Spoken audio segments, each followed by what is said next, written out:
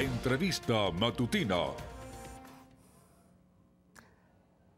Amigos, bienvenidos a Entrevista Matutina por Venevisión. Hoy nos acompaña en el estudio Darwin González, alcalde de Baruta y aspirante a la reelección por el partido Fuerza Vecinal. Bienvenido, gracias por acompañarnos. Muchas gracias, Gregorio, por la invitación. Adelante, puede, por supuesto, retirarse el tapabocas para que la gente lo pueda entender para que más la gente claramente. entienda. Así es. ¿Cómo, ve, cómo ha visto usted el, el camino hacia las elecciones del 21 de noviembre en Baruta y en líneas generales, en parte de esa, de esa, vamos a llamarlo así, ese anillo metropolitano que eh, está gobernado por, por alcaldes del Partido Fuerza Vecinal? Bueno, nosotros, siendo objetivo- muy claro y objetivamente, estando en posición de gobierno, desde que nosotros habíamos hablado de principios de año que íbamos camino a la reelección, el municipio lo entendía y lo comprendía porque venimos de un proceso en donde la participación ha sido, digamos, compleja, donde han habido llamados tanto a participar, a no participar. Entonces, el municipio Baruta yo siento que estaba eh, bien claro con que por lo menos nosotros íbamos a aspirar a la reelección. Así que no hubo sorpresa con eso, más bien hubo apoyo. Y ha sido un proceso donde yo lo veo más, eh, más por la lógica que a lo mejor que por los sentimientos, eh, que el baruteño entiende lo importante que es esa elección del 21 de noviembre, donde vamos a tener gobernadores y alcaldes. Y indudablemente hay una sinergia de todo lo que es tanto Chacao, Baruta, El Atillo, Los Alias, porque nosotros lo hemos dicho siempre, lo bueno que se hace de otros municipios se copia, se adapte para bienestar de los ciudadanos. No hay para nada rivalidades, más bien lo que hay es una- un gran entusiasmo y un gran, este, digamos, hermandad para sumar esfuerzos en pro de, los, de la vida de los ciudadanos. ¿Cómo está precisamente eh, esos ciudadanos de Baruta? ¿Hay ánimo de participar el, el 21 de noviembre o es más, es, es algo más, hay, hay- otra palabra como calificarlo? Creo que la palabra es, hay más conciencia que ánimo. Recuérdense que Baruta es un municipio, un, un bastión de la oposición, estamos hablando de 80% de oposición, este, la alternativa democrática, un 20% de tendencia oficialista. Eso mm, indudablemente lo pone en una situación distinta a, la- a muchas otras partes del país. Sin embargo, ¿cómo lo veo yo, este, y siendo bien objetivo, es que no es un proceso donde hay a lo mejor un ánimo, una pasión, no, sino hay un proceso de racionalización, este, conciencia de lo que se está eh, eligiendo. Y, creo que el municipio va a ir a votar, este, a lo mejor no tanto como en otras oportunidades, porque hay un tema que también ha afectado no solamente Baruta, sino todo el país, que se han ido una cantidad importante de venezolanos. Sin embargo, yo estimo el nivel de participación cerca del 60%. ¿Cómo? eh, hablaba más temprano de lo que se podía hacer en los municipios eh, eh, en donde hay alcaldes de fuerza vecinal que podía replicarse. ¿Hay una fórmula exacta, específica, que ustedes han dicho, esto no funciona aquí, podemos replicarlo en otras partes? Bueno, por lo general hay temas que son globales. Por ejemplo, la falta del agua. La falta del agua eh, es un mal no solamente de los caraqueños, sino de muchas ciudades del país. Los pozos de agua, estamos claros, no es la solución total, pero sí ayudan a mitigar. Eso, indudablemente, por ejemplo, hay que irlo adaptando cada, cada municipio, dependiendo de la altitud, dependiendo donde, si hay agua, si no hay agua, esto se puede ir adaptando. Nosotros tenemos varias modalidades de pozo, desde el típico que se conecta directamente a la tubería que va en la calle, como también el, centro llenado de agua potable, como también ahora estamos llenando lo- los grandes almacenes de esos tanques grandes que, acumulan este, millones de litros de agua. Así que eso se puede ir adaptando a, otra, a otros municipios y nosotros lo proponemos y no solamente de fuerza vecinal. Mire, es un tema de, de ser venezolano. Si otra persona que tenga una posición de gobierno quiere aprender, eh, nosotros estamos a la, a la- a la disposición porque el que se va a beneficiar es el ciudadano que no tiene agua. Si, si, si un pozo de agua puede ayudarlo, bien, estamos dispuestos a ayudarlo y, y a prestar la ayuda técnica necesaria. Con respuesta para que sepa eh, eh, la gente del país y sepa la gente de Baruta. Le pido una respuesta bien precisa, bien corta, en una sola frase, para dar pie a la siguiente pregunta. ¿Cuál fue, desde su punto de vista, la punta de lanza de su gestión en los últimos cuatro años? Esperanza. ¿Va a, ser, ¿Va a seguir siendo la punta de lanza en los próximos cuatro años de mantenerse Darwin González en la alcaldía de Baruta? Sí, totalmente. Yo creo, este, no solamente que un país eh, mejor es factible, que sí se puede avanzar. Yo quiero que mis hijos crezcan en, el país, que no tengan, tengo niños muy, muy niños, pues, de 10 y 5 años, y yo quiero que cuando ellos se gradúen, este, oye, se queden aquí, echen raíces aquí, que, no, tener que vivir como, por ejemplo, hay parte de mi familia que vive afuera.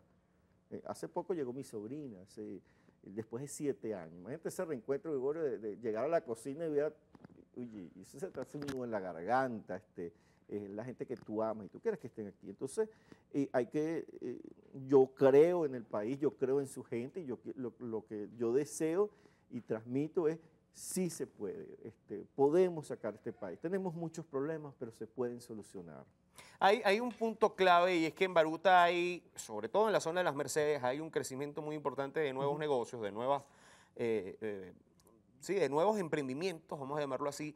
Y la pregunta que se genera en torno a eso es el tema impositivo, el tema de, de- de impuestos, el tema, eh, eh, el tema fiscal. ¿Cómo se va a manejar esa situación en un nuevo periodo? Bueno, eh, ahí hemos ido avanzando. Cuando nosotros empezamos la gestión, la recaudación era anual, se pasó a trimestral y ya hoy en día está en mensual. Eso es característico de los países que, tienen hiperinflación o, o- fuerte eh, devaluación. Y al, al pasarla a, a mensual nos permitió ir mm, eh, mejorando la recaudación, este, que eso se ve reflejado en la gestión. El, primer año fueron 2.5 millones. Estamos hablando de que el municipio de Baruta recaudaba 110 millones de dólares y el primer año apenas recaudamos 2.5. O sea, una caída abrupta. Después el segundo fueron 4, el tercero fueron 5. Este año vamos a estar por el orden de los 8 millones de dólares y estamos haciendo una tasa de crecimiento proyectando de 20% anual, lo que va a permitir desarrollar más planes eh, eh, para el municipio, bien sea de vialidad, de seguridad, educación, salud, este, ornato, eh, iluminación, que se van a ver reflejados. Ese producto de mejores ingresos, mayor cantidad de ingresos, se van a ver reflejados directamente en la gestión. Alcalde, le voy a pedir un ejercicio de autocrítica. Diga usted, ¿qué considera que se puede mejorar aún más en Baruta en el próximo periodo? La vialidad, la vialidad. Este, fíjate, eh, uno cuando uno es candidato, yo fui candidato y Sí. uno dice, en los primeros ni un hueco. Eso es, la- eso es lo que uno desea y uno quiere. Y uno hace un gran esfuerzo por hacerlo. Pero cuando el tiempo y, te, da- te das cuenta de que hay cosas que uno no domina. Si llueve eh, todos los días, son paros de agua durante largas horas y después es altas temperaturas, se van a abrir los huecos. Entonces vas a tener que entender de que tienes que trabajarlo todos los días, que tienes que estar muy montado, que una de las cosas que quiero variar es que ya tenemos identificado aproximadamente unos 100 puntos que por alto tráfico o por X circunstancias se abren eh, con mayor facilidad los huecos o se deterioran las vías. Bueno, esas las vamos a pasar a concreto porque este, es frustrante para uno como ciudadano. Oye, pero ayer lo taparon y pasaron tres días y se volvió a abrir el hueco. Este, bueno, eh, eh, a lo mejor una vía de mucho tránsito o a lo mejor eh, estamos, por ejemplo, en una época de lluvia donde asfaltar es complejo. este, Estamos no es hablando de que piensan aplicar planchas de concreto. Sí, sí. Hay ciertas partes, eso no quiere decir que todo el municipio va a pasar a Bien. concreto, pero hay partes donde ya tenemos identificado, mira, vamos a pasarlas a concreto. Hay otras donde vamos a hacer la renovación vial entera, que es escarificar, se levanta esa capa de asfalto y se coloca una nueva. Eh, es un trabajo mucho más costoso, pero más perdurable en el tiempo. Ese, eh, por ejemplo, eso es una de las cosas que, que, bueno, yo particularmente sufro mucho porque yo, yo mismo manejo mi vehículo y estoy por todo el municipio todo el día y uno dice, pero bueno, este, ¿por qué se abrió el hueco? O sea, así que siempre se puede mejorar y hay que ser autocrítico. Nos queda cuestión de, de- de minuto y medio, alcalde. Eh, han hecho mucho hincapié en el tema de educación y en el tema de salud en su gestión. Eh, ¿Hacia dónde debe encaminarse el acercamiento hacia las comunidades, sobre todo en la zona rural del municipio, en, las barriadas? Eh, ¿Hacia dónde debe encaminarse el trabajo en educación y en salud? Bueno, fíjate, nosotros tenemos ocho escuelas municipales, todas ellas en sectores tanto eh, populares y los sectores rurales. Son unas escuelas maravillosas. Mm, Siendo muy claro, no las hicimos nosotros, nos las dejaron los otros alcaldes que tuvieron las gestiones anteriores y son escuelas maravillosas, muy bonitas. ¿Qué hizo la alcaldía en la pandemia? Hacer alianzas con organismos internacionales y, mantenerlas. Son unas escuelas de lujo.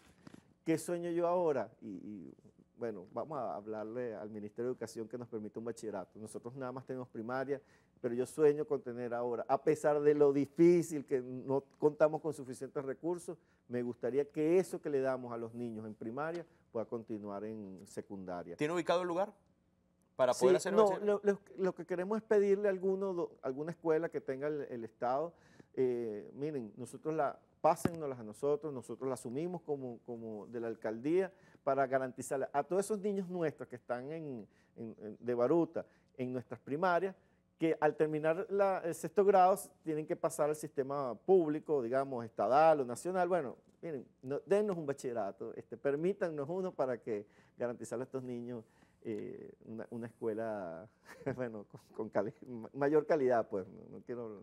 Así es. Alcalde, y, eh, en, y en salud, sí.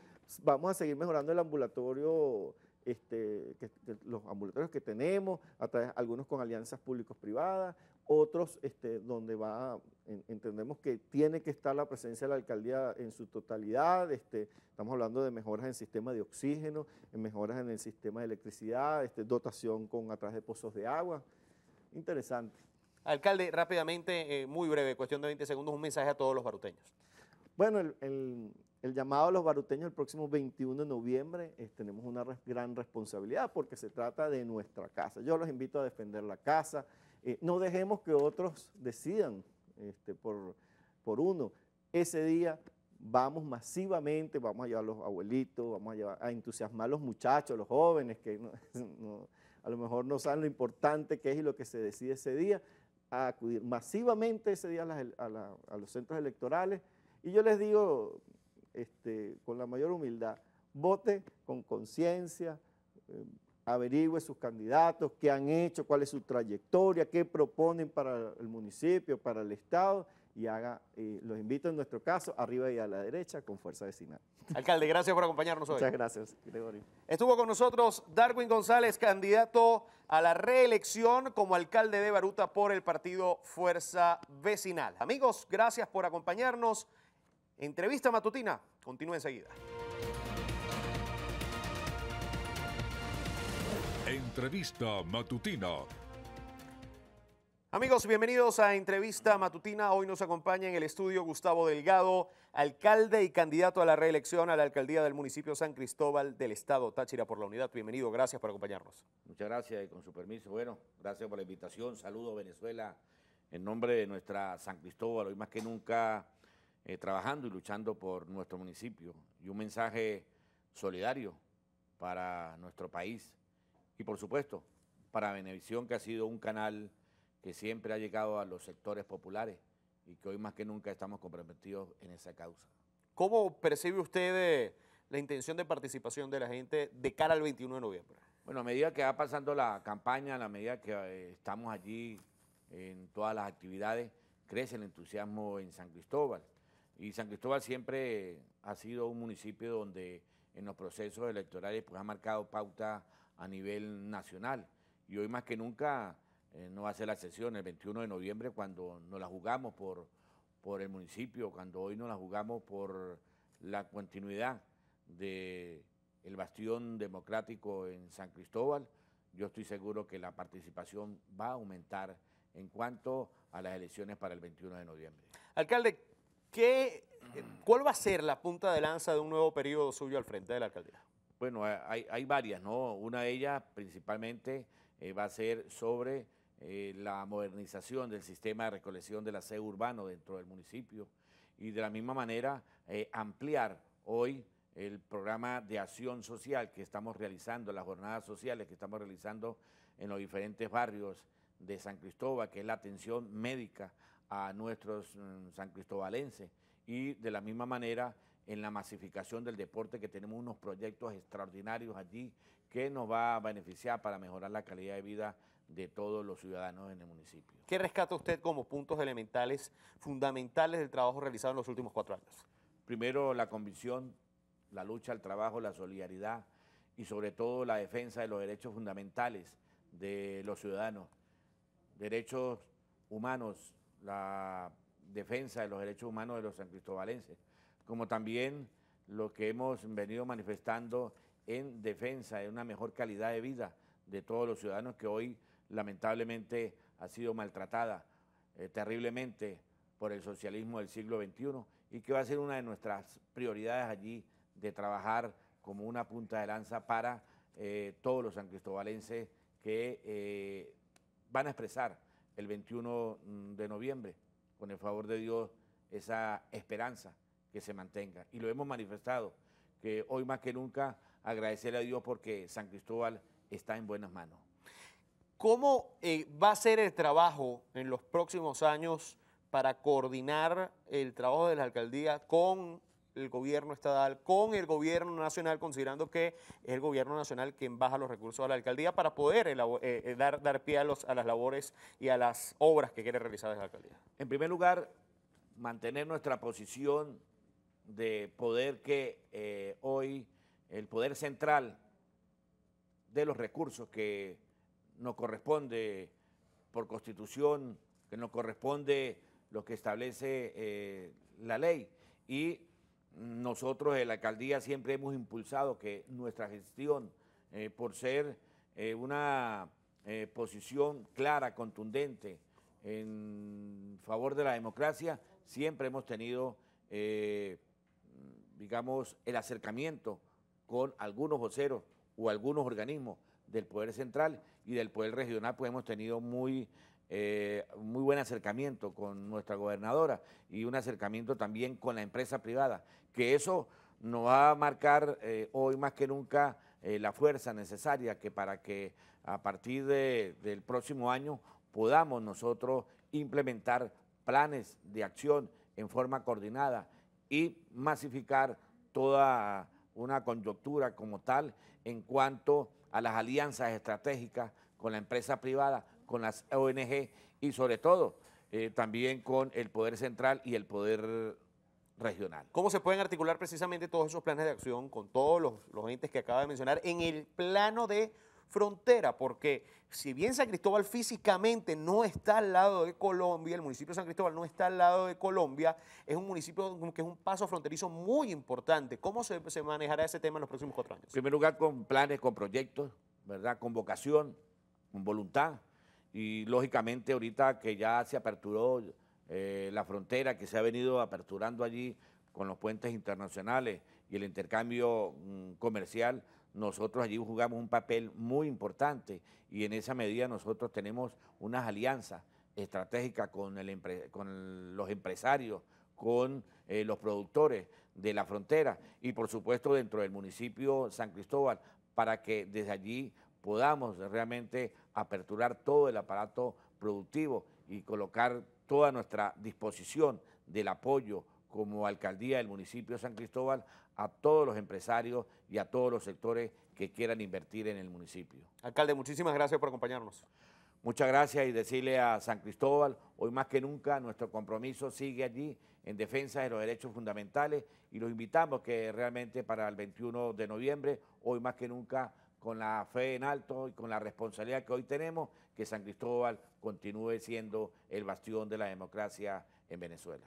Nos acompañó Gustavo Delgado, alcalde y candidato a la reelección a la alcaldía del municipio San Cristóbal del estado Táchira por la unidad. Amigos, gracias por acompañarnos. Quedan con la emisión matutina de su noticiero Venevisión. Un fuerte abrazo para todos. Entrevista matutina